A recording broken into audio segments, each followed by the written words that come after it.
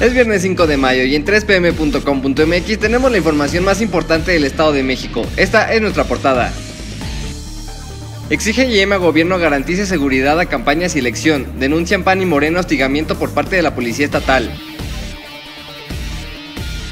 No habrá ley seca por comicios en sitios turísticos. Erubiel. Muere vengador en asalto a combi pero mata a dos zampones. Asaltan oficina de PRI en esa. Asesinan a tres policías y un civil. Esto y más podrás encontrar en 3pm.com.mx.